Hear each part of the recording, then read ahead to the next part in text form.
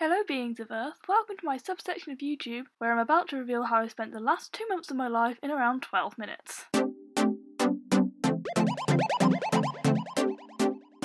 Like most people I know, I grew up watching and loving a lot of Barbie movies, and I've always wanted my own Barbie gown despite hating dresses, so I finally decided to make this dream come true and make my very own Princess Anneliese cosplay from The Princess and the Pauper. I picked Anneliese because I feel like she has the quintessential Barbie princess look, and that's what makes her look so iconic. I started by putting on my hoop skirt, which I got secondhand from eBay and edited to my size, and measured my hips, the distance to the floor, and the distance from my feet to where the skirt will eventually fall, so I can calculate the circumference of the bottom of my skirt. Do you have any buzz?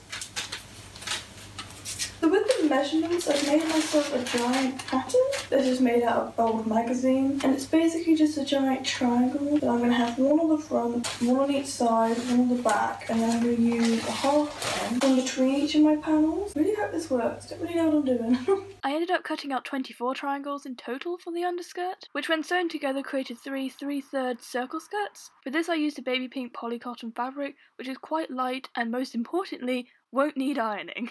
So I have this bias binding that I bought for details, but I'm also going to cut a length of this and use it as a waistband, just so I have something to sew all the skirt layers onto, which I know to be the exact same size as my waist. Once the waistband was attached, it was actually looking and sitting exactly how I wanted it to, so I moved on to the overlay. Using the same triangle pattern as before, I cut out 8 more panels, this time from pink organza, then attached them all together in the exact same way I did before. So the organza kind of pulls on itself, which means it's not very even at the bottom. So I'm going to add some gold bias binding onto the bottom just to give it a little bit more structure. I found that organza is slightly harder to sew than the cotton, so you have to be a little bit more patient with it, but it looks really pretty when done, especially after adding the gold bias binding all the way around the bottom as a finishing touch. To help myself out with the bodice section, I made a mock-up out of cotton drill, which I fitted to myself over many, many, many alterations. All I did then was cut it into pieces, iron it flat, and then use it as a pattern for the real thing. Now that I've got all my pieces, I've laid them out on this fabric, and I've double layered it so I don't have to cut out multiple pieces. For the final look, I decided to use a light pink cotton with a really delicate white flower motif. So I've left a really big gap around my pieces, and the reason for that is I'm going to line each piece individually with the same fabric I used for the skirt. And I don't want the folds to look awkward when I sew the final thing, so I'm just giving myself an extra bit of room to sew these pieces together. Finally have all eight pieces done. this took a very long time. So now I'm going to sew the lining onto the front pieces and then see what we need to do next.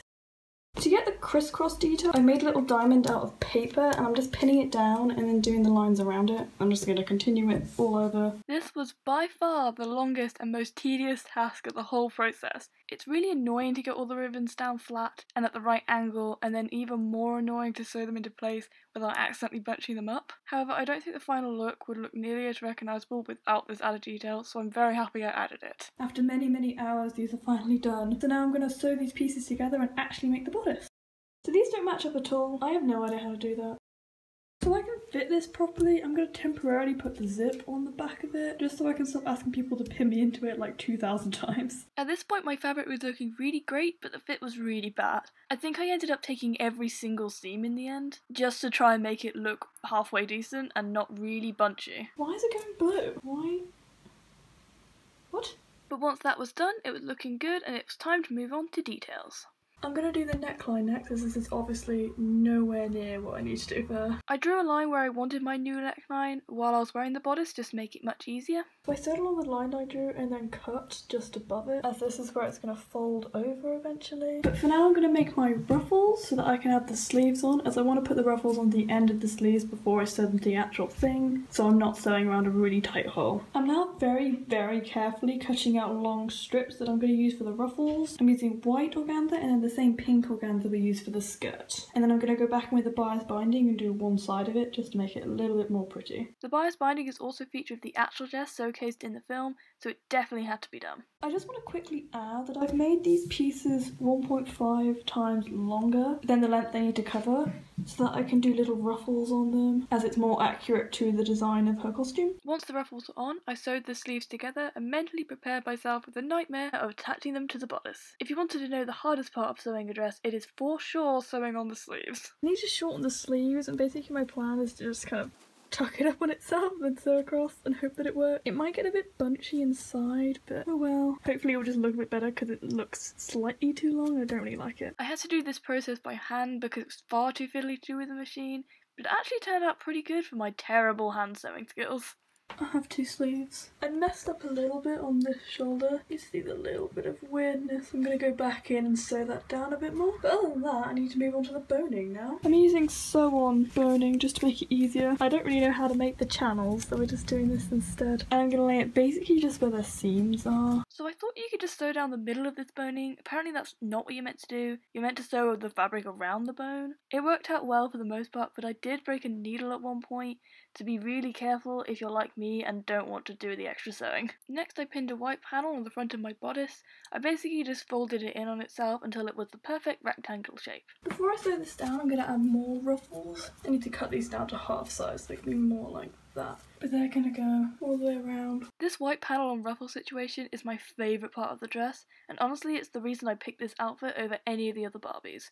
It makes you look so high class and fancy, and it's not even a really complicated thing to add. I've made this little tiny rose, it took forever, but I just made it out of the same fabric I made the skirt out of, and that's going to go right there, which is just at the top of the bodice. It looks a bit messy, but I kind of like it. It's kind of rusticy. I'm happy.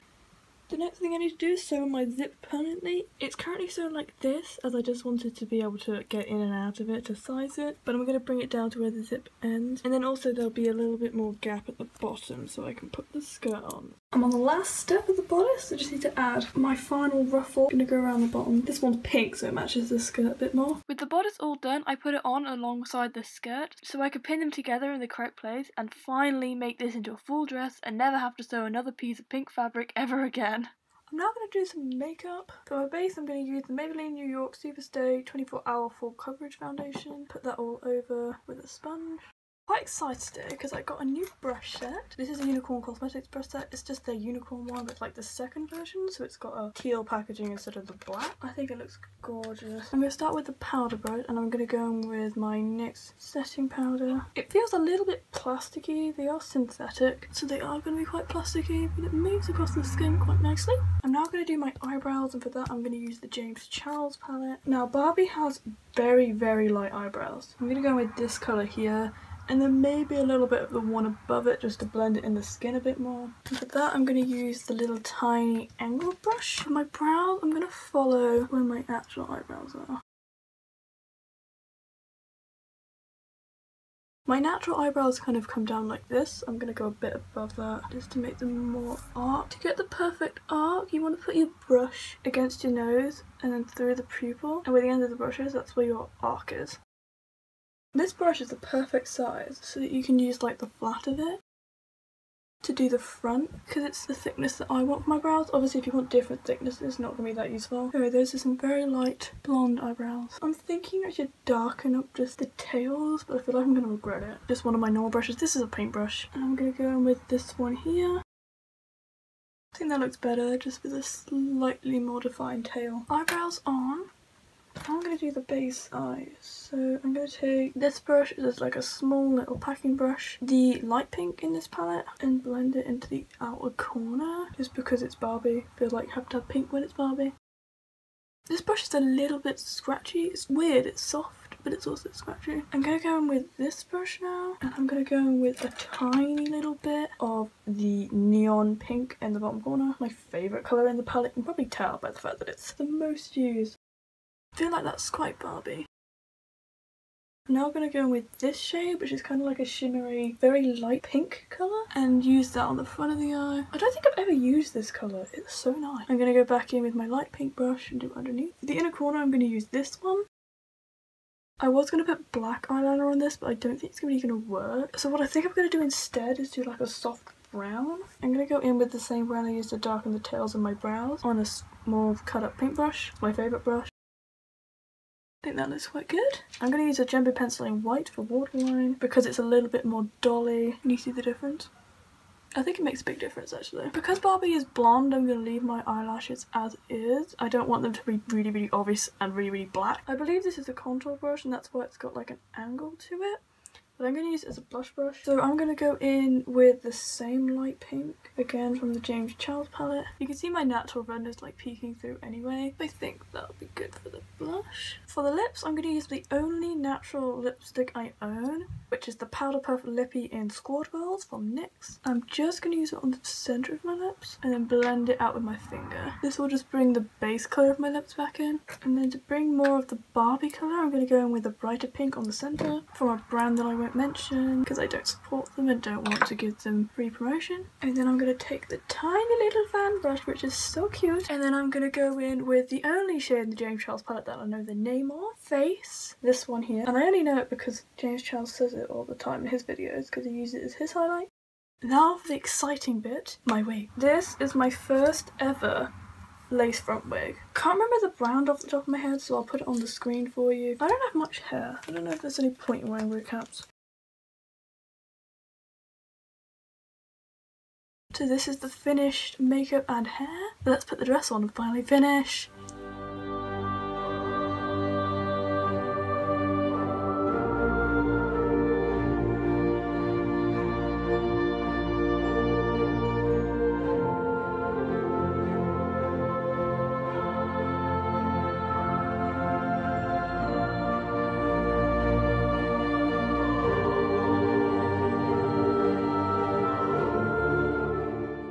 Thank you so much for watching this video. It was a long time in the making and I really hope you enjoyed it. If you did, please don't forget to hit the like, then subscribe, and leave a comment telling me what else you would like me to do. But it's goodbye for now.